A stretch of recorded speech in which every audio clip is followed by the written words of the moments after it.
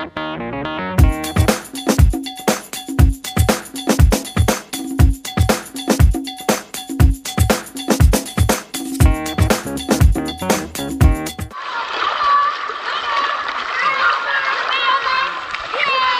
zijn jullie dan aan het doen? Ja, trainen voor de Special Olympics. Oh!